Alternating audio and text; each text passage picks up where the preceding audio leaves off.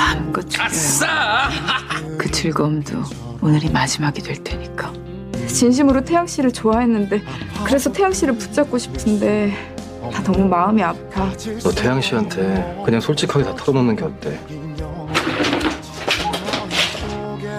세리나.